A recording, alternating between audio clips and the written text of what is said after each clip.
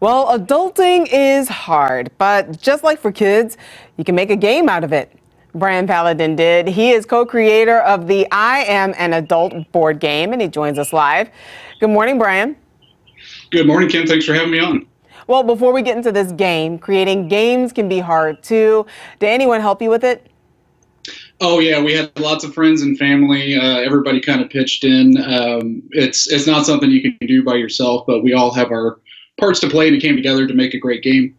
So, how did you all come up with this idea?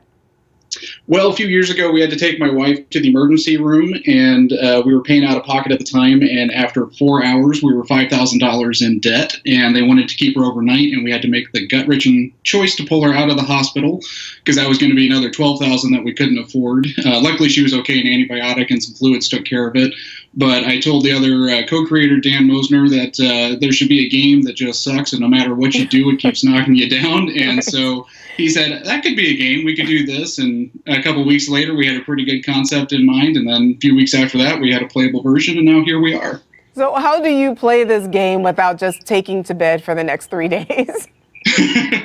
well, luckily everything's presented in a fun way. So even though it's uh, a miserable experience sometimes, unless your friends help you out, which you all might do well, uh, you can laugh at it and realize when you're done that your life isn't as bad as that game can be.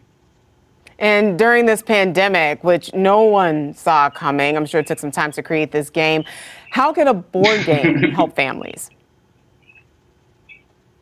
Well, especially for uh, at least our game, older families that uh, may enjoy some adult humor. Uh, it's a time, if you can do it safely, to come together with those of you in your household to kind of play. And as you go through those things that are uh, like crippling debt and things that keep knocking you down, uh, you can realize that you're just as strong as you were before and you're even stronger after it and keep moving forward. Now, you brought up a really good point. Uh, adult humor, uh, most games have that age thing printed on it.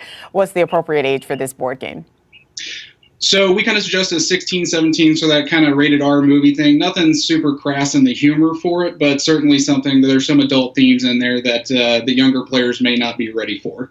Um, 16, 17, what has been the reaction? Um, or, or, do you find that some teens are just like, okay, I'll do whatever mom and dad says all the time, all of a sudden and stop being so rebellious?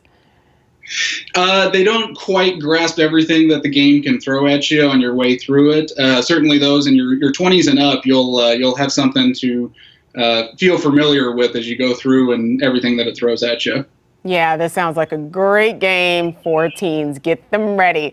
Well, we will have a link to the I Am an Adult board game at fox2now.com. Brian Paladin, thank you so much for joining us. We appreciate it. Thank you. Pleasure to be here.